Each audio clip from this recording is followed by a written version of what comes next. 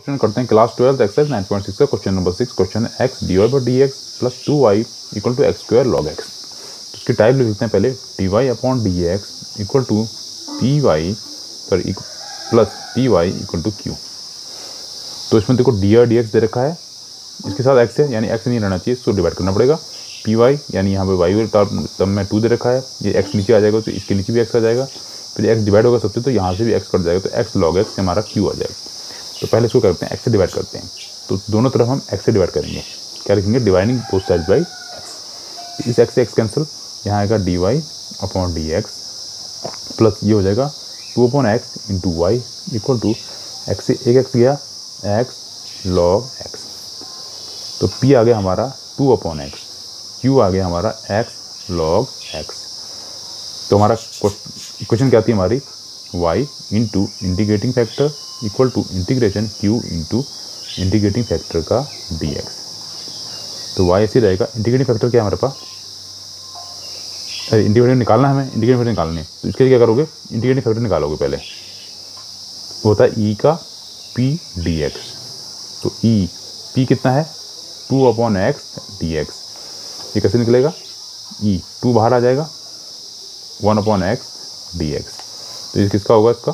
तो ई लिखोगे टू ऐसे ही लेगा। वन अपॉन एक्स का इंटीग्रेशन होता है लॉग एक्स ठीक है? ये हो गया इंटीग्रेटिंग फैक्टर अभी आगे और सॉल्व होगा ई लॉग एक्स का स्क्वायर हो जाएगा। टू ऊपर चला जाएगा। ठीक है? लॉग एम एन वाला। एन लॉग एम कौन सा था? लॉग एम एन यानी इसको लिखते हैं एन लॉग एम जो पावर होती है, ये मल्टीप्लाई में आ जाती है। तो इसको फिर ऊपर कर दिया हमने। तो ई से लॉग कैंसिल होता है तो इंटीग्रेटिंग फैक्टर आ गया एक्स स्क्वायर तो यहाँ डाल देंगे आप। इंटीग्रेटिंग फैक्टर कितना है? एक्स स्क्वायर तो यहाँ एक्स स्क्वायर आएगा। इक्वल टू क्यू क्यू कितना है? X log x into integrating factor कितना है? एक्स स्क्वायर डी एक्स ये हो गया।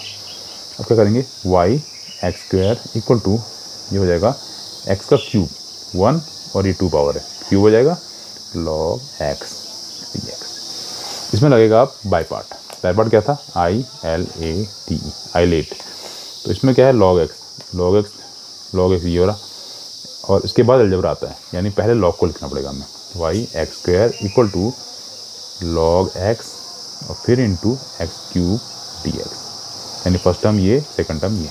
इसको सॉल्व करते हैं। तो फॉर्मूला हमने पहले क्वेश्चन में किया है। क्या था? यू वी डी एक्स तो कहते हैं पहले फ़र्स्ट टर्म अगर यू ले लिया, ये वी है, ये यू है। तो फ़र्स्ट टर्म अगर यू लिया तो फिर क्या करते हैं? इंटीग्रेशन वी डी एक्स फिर माइनस जो फ़र्स्ट टर्म है उसका डिफ्रेंशिएशन करते हैं। फिर सेकंड वाले का इंटीग्रेशन और पूरे का डीएक्स ये हमारा फॉर्मूला है। ठीक है? इसको लगाते हैं।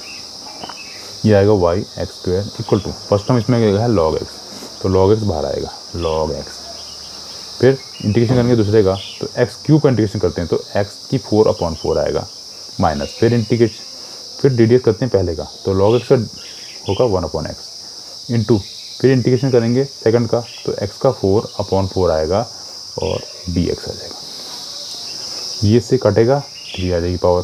तो यहाँ तो y x square equal to log x x का four upon four minus one upon four. बाहर आ गया, यहाँ बचा एक्स का क्यूब। एक्स का क्यूब का इंटीग्रेशन करेंगे तो आएगा एक्स का four upon four plus c. ठीक है? उसको लिखते हैं नेक्स्ट पेज में। में बता दिया मैंने। तो क्या करेंगे? Y x square equal to ये हो गया लॉग एक्स ये हो जाएगा लॉग एक्स एक्स की फोर अपॉन फोर ठीक है ना? माइनस वो एक्स का फोर ऊपर है। नीचे फोर फोर जाओ सिक्सटीन प्लस सी तो उसके करते हैं सिक्सटीन का एल्सियम लेते हैं। तो सिक्सटीन एल्सियम आएगा। तो फोर फोर जो सिक्सटीन तो ऊपर फोर से मल्टीप्लाई जाएगा फोर लॉग एक्स एक्स का फोर ठीक है? माइनस सिक्सटीन है सिक्सटीन है तो माइनस एक्स फोर ऐसे आएगा। ये हो गया। और प्लस सी तो ये जाएगा y x square equal to one upon sixteen बाहर ले लेते हैं। अंदर जाएगा फोर लॉग एक्स एक्स का फोर ठीक है? माइनस लेकिन एक्स का फोर भी कॉमन आ रहा है दोनों में। तो एक्स का फोर ही बाहर आ जाएगा।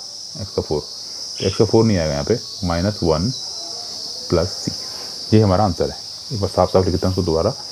वाई एक्स का फोर एक्स का टू वाई एक्स का टू इक्वल टू एक्स का फोर अपॉन सिक्सटीन ठीक है? और यहाँ पे आएगा four log x minus one plus c ये आ गया? यहाँ एक्स स्क्वायर है तो एक्स स्क्वायर से डिवाइड कर देंगे तो हमारा आंसर आ जाएगा। तो एक्स स्क्वायर से डिवाइड करेंगे, नीचे एक्स स्क्वायर आएगा एक्स फोर है तो कटेगा तो एक्स का स्क्वायर अपॉन सिक्सटीन हो जाएगा। Four log x minus one plus c upon e का एक्स का स्क्वायर हो जाएगा। का स्क्वायर बाद में इसको ऊपर ले आएँगे तो हो जाएगा सी एक्स का माइनस टू हो जाएगा। ठीक है, यहाँ पे लेते हैं सी एक्स का माइनस टू ये हमारा आंसर हो जाएगा।